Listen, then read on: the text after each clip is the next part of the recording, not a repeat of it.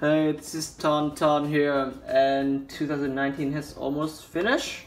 So today I'm gonna do a list of the top 5 worst Studio Series Transformer figure so far. Just so you know, this is only count the figure that got released in 2019 officially. So I won't be counting all the new figures I have just reviewed. So notice this, that in this video I will not concluding the figures that is like just a remold and change in a little bit of shapes. Like in the case of uh, KSI drone here, I will not count that in.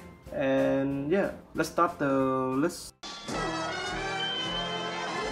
Number 5 we have Shatter uh, of, in the car mode. And yeah, why number 5?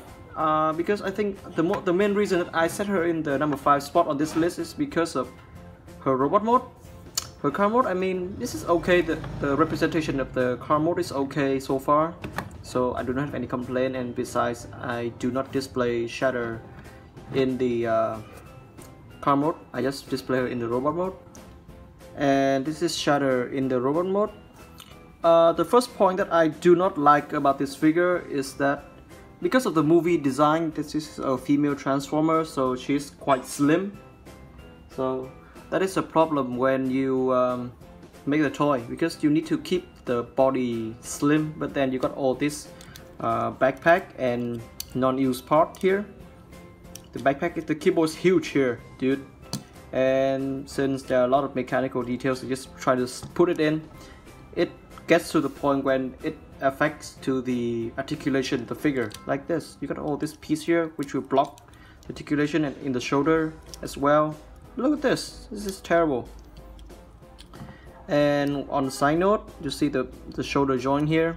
Because this is like it's a ball joint and it's quite round and slippery so the arm comes off all the time. The arm comes off. That is why I don't like this design that much and otherwise uh, the head here is kind of like the battle face the battle mask head which I do not see her use in the movie did you? And I do prefer her normal eyes. And besides that this is still an okay figure. That's why I set her in number 5 spot on the list because this is the best you can do with a female transformer that transform into a car. Because normally you see that female transformer figure is mostly like the form of a bicycle yeah so they manage her pretty well and if you just leave her in posing I don't think it will affect at all Number 4 on our list, this is the Studio Series Lockdown from uh, Age of Extinction. I have nothing much to say about this alternate mode uh, Lamborghini. I mean it's fine, but uh, it's a very clean, slick car. You think that this is supposed to be a good transformer until you turn it like this and you see the whole transformer thing. Come on, give me a break. If you, this is from my experience, if you ever see a figure like this, you can be assured that he will have a surprisingly 3 years old suitable transformation and uh, you're gonna have a kibble nightmare on the backside. This is, oh my god, trust me, I assure you that this guy will not be easy. And here's we have Lockdown, and he shares the same problem with Shatter Dude, look at this backpack. This is huge. This is like a turtle backpack. This is not a transformer backpack, dude. This is huge. That is why I don't like him that much, to be honest, because the backpack is huge. And not just the backpack huge effect itself, but look at this, because of the backpack, so the joint, the waist joint is very limited. You can barely swivel here and that is for the effect on the uh, articulation. And another thing is look at this.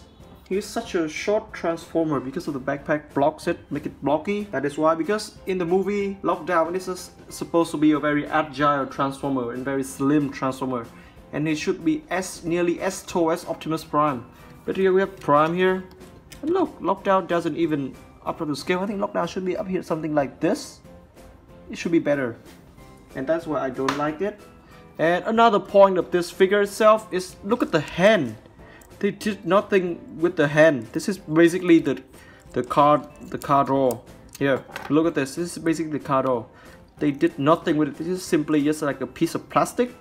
No joint, nothing. The doors cannot even open in the robot mode. Which is terrible for a figure of the Studio Series line. Which is supposed to be movie accurate.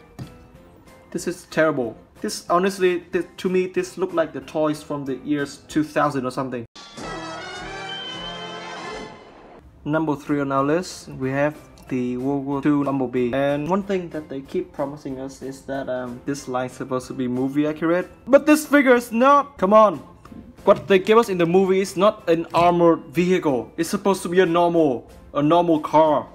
Not with guns sticking out the front section like this. He's supposed to be a normal car. Come on Hasbro, what is wrong with you? Why you keep changing things when you promise another thing? Is there any problem with you doing figures movie accurate? No, but why did you need to change this?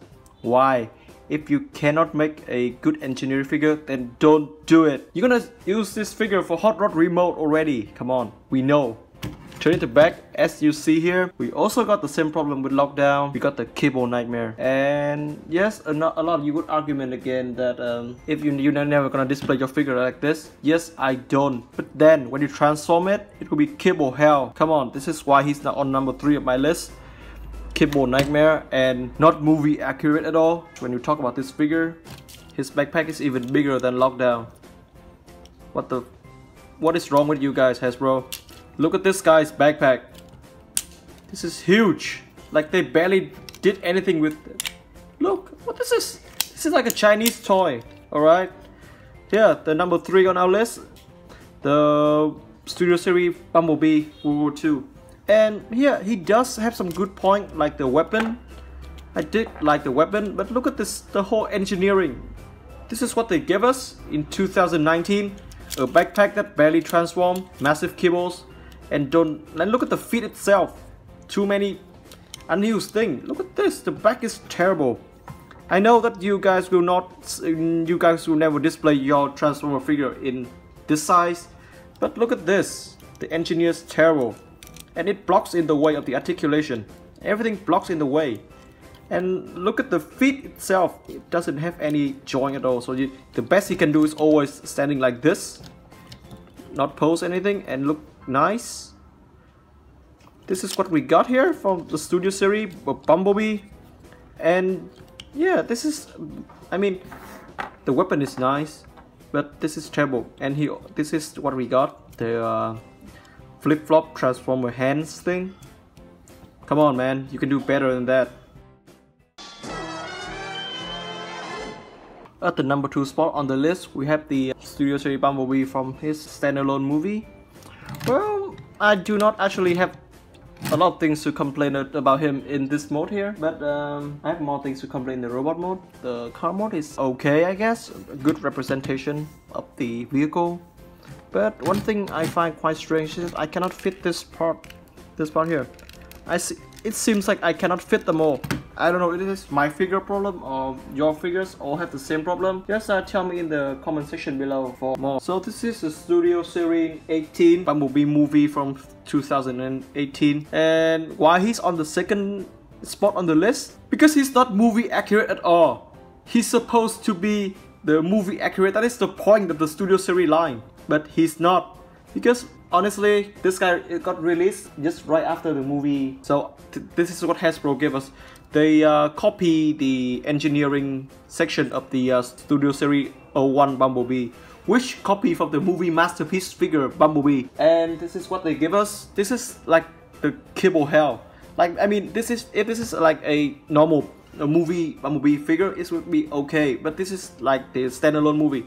And in the movie, he doesn't have all this draw section up like that. Come on, really? Look at the backpack, it's huge. It is huge. And it's not supposed to be like this. I'm so disappointed. In the movie, the backpack is barely visible. It's such a smooth transform the movie that they liked about that. And because of the leg section here, they use a different mechanic of the uh, transformation. So just make it look new and look, doesn't look like the old Bumblebee remold. They changed it a little bit. But that make this figure sucks. Honestly. The, the leg look uneven. Come on.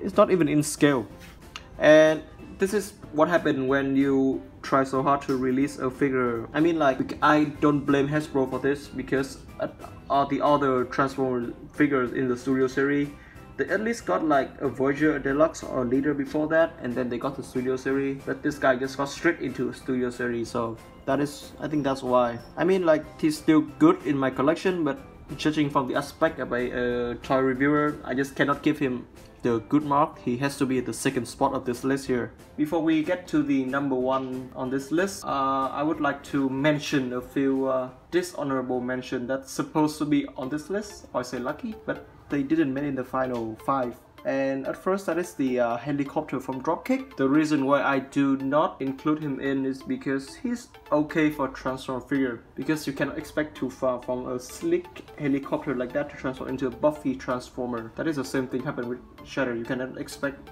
a uh, Buffy character into a slim transformer. And the second is uh, Scrap Metal. Why I do not give him in because he actually the robot mode didn't appear in the movie. We just seen him we just saw him co combining into Devastator. That is why he's not connected. And now let's get to the final Transformer in on this list. And the number one on our list, we have the uh, Leader Megatron from Dark of the Moon. Where do I start? Come on. This thing is fucking hollow! Why Hasbro? Why? You give us a leader and look at the the hollow part of this. You can make a panel that cover this all up, but no, it has to be hollow. Why? And you, what is the point of give us rotating wheel? When you have this chest pieces here like this, it cannot, it cannot even stand like balancedly. Why? Come on, why? And you give us the cloth, which is okay this is rubber and this piece here in the transformation you're gonna flip them out but be careful because this is really easy to break. Since this gets in the way this is a, it's like the worst of engineering. This is like the basic knowledge of engineer transformer. This is a leader. You make us pay a leader price for this and you give us this shit and this is what we got. The flip-flop fucking panel here. It doesn't even go together and this is look like rubbish Give me a break. I mean, what the Look at this, this is a leader class figure in 2019 and it's such a floppy figure. Look at this. For real? He's a leader class of the Studio Series line which is supposed to be really good and nice just after the uh, Masterpiece line. But guess what? This is what Hasbro gave us, a Megatron figure. Which, I mean, I don't know what to say. It doesn't capture anything in the movie at all. Despite from the hood like, this is like nothing, nothing to me. The leg is have a, such a stupid mechanism. Why cannot he just stand straight like this? Why does just you have to keep making him look like a chicken? Hasbro, why? And look at the the leg section here, such a floppy section. It just nothing is locked. This does not feel like a leader at all. Look at the, it's such a floppy section here. And the arms, kibble hell. Come on, give me a break. It's supposed to be really clean figure.